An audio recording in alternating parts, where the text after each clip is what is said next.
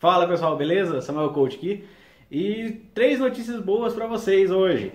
A primeira é que a portaria 46, 60 e 61 foi revogada. Ainda bem, Bolsonaro chegou lá e botou pressão no exército, falou que é para revogar, mandou revogar e revogou.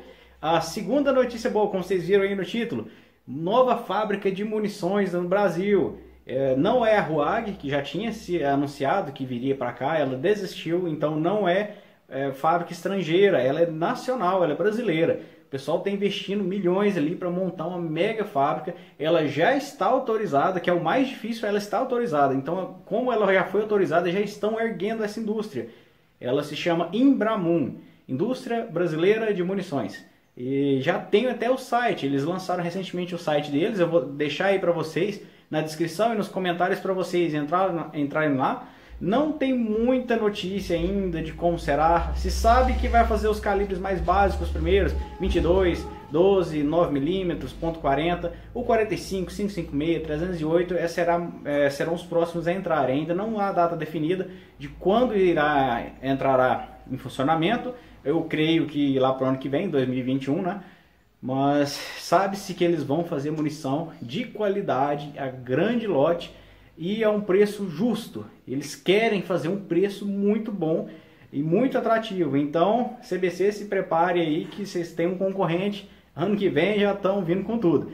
E a terceira notícia é sobre a Arex, que é a fábrica eslovena de, eh, de armas.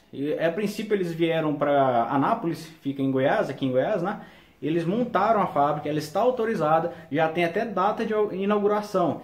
Eles ultimamente estavam meio parados, mas é, agora por causa desse corona aí que parou mesmo. Mas a fábrica sim vai inaugurar em 2021, ano que vem. Então teremos uma fábrica nova em 2021 de munições e uma de armas. Teremos concorrência aí finalmente.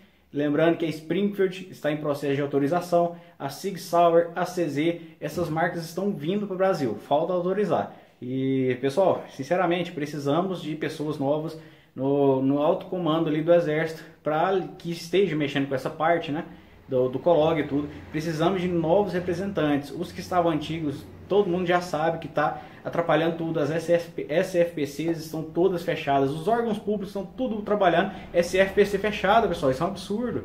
Pessoal, o Bolsonaro está fazendo um esforço danado para deixar tudo funcionando, a máquina pública funcionando.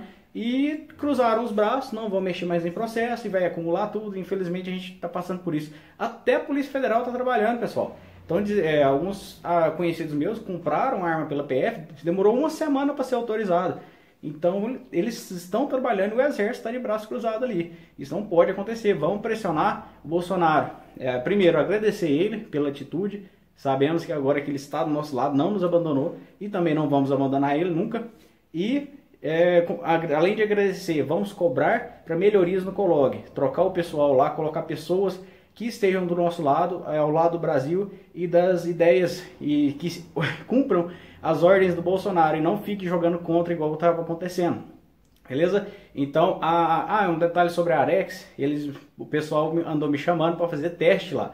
Então, assim que as coisas estiverem normalizadas, eu vou, vou testar as armas daquele modelo que vocês estão acostumados, vou falar minha opinião sincera sobre o que eu vi ali. E eu tô bem curioso, eu nunca tive contato, nunca peguei em mãos uma pistola da Arex. E são muito bonitas por foto, mas ao vivo será que é tão boa assim? Veremos, né? Que serão as novas nacionais. E por falar em nacional, o próximo vídeo que eu vou gravar aí pra vocês, vou demorar um pouquinho porque eu tô corrido. Mas vou fazer uma comparação de Taurus em Bell para quem vai comprar a primeira arma e tem um orçamento limitado. Eu farei um vídeo ali explicando as vantagens de cada uma, beleza? Então fica essas três notícias boas aí, podem comemorar. Um grande abraço para todo mundo que cobrou o presidente e vamos lá agradecer e torcer para as coisas melhorarem daqui para frente. Com certeza com o nosso presidente aí no governo, é, daqui para frente só melhora, beleza? Um abração, até a próxima.